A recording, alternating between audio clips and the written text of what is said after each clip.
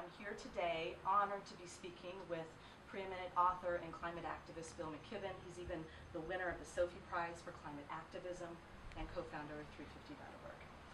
Thank you for being here. Well, what fun for me. Can you explain briefly why the group is called 350.org Sure. and what that means for our planet?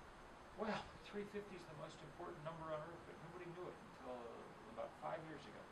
In 2008, our most important climate scientists at NASA, led by a man named Jim Hansen, published a series of papers showing that the most carbon we could safely have in the atmosphere was 350 parts per million.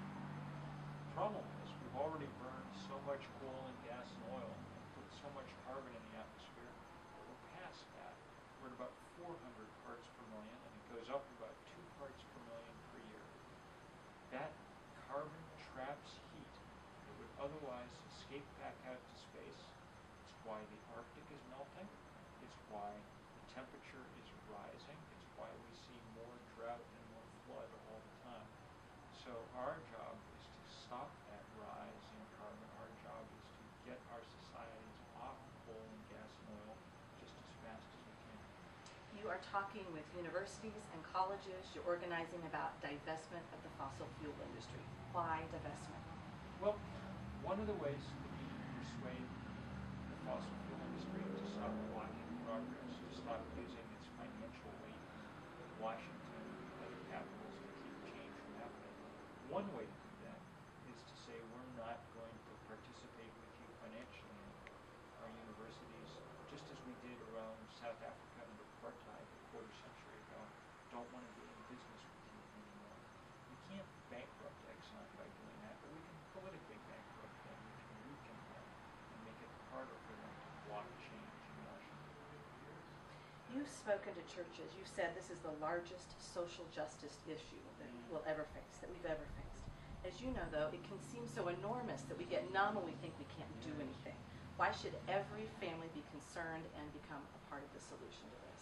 Well, because every, this is the one issue that there's ever been that's going to affect every family and every generation of every family for thousands of years to come. The changes we're making right now, what we do in the next 10 years, will help determine the geological history of the planet. We can already see the danger. I mean, the Arctic essentially melted last summer. Um, so we're making change on a huge scale and we just got to stop it. So the window of opportunity here is pretty short. The window is pretty short, and it's, I'm afraid, closing. There are scientists who think we've waited too long to get started. The best science indicates that we can no longer stop global warming. We've already raised the planet's temperature almost two degrees Fahrenheit, but we can perhaps still keep it from getting utterly out of control only if we go over. In this movement, in this work that you do, and this volunteering that you do, what role does faith play for you? Well, um, I'm a Methodist. Faith, um, among other things, allows us on dark days to hope that um, uh, if we do everything that we possibly can do, that the world might even stop that. Thank you so much for talking with us. And if you would like to add, I saw you have a new book coming out in September, I. Oh, I do a book coming out, Oil but and it's Oil and Honey, it's called, but much more important for people to go to 350.org and just get involved in the fight. Thank you so much.